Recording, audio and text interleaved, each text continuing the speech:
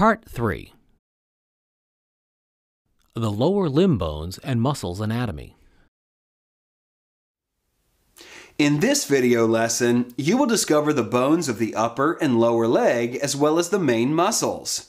The lower limbs make up half of the body height, so adequate knowledge of its anatomy is rather important for a figurative artist.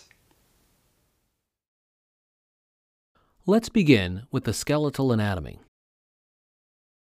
I am using the term lower limb to indicate that we are talking about the upper and the lower leg, from the hip joint to the ankle joint. The femur is the largest bone in the human body. It has the following structure. At the very top, there is a head. This head is part of the ball and socket hip joint. The head of the femur is connected to the bone's shaft via the neck. The lower leg has two bones. The larger one is called the tibia or the shin bone. This bone is also wider at the knee joint. The two bony projections of the tibia are also called the condyles. The tibial tuberosity is located beneath the kneecap. On the outer side of the tibia, there is the bone called the fibula, or the calf bone.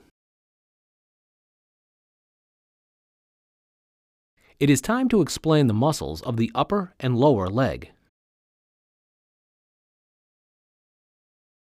In the front portion of the upper leg, there is a muscle called the sartorius. Sartor in Greek means tailor. This is why the muscle is also referred to as the tailor's muscle. The tailor's muscle starts from the frontal upper edge of the pelvis and inserts into the inner top portion of the shin bone. Its main function is to help other muscles to bring the leg into the cross legged position. The tailor's muscle is long and flat like a belt. It goes diagonally downward and inward around the upper leg.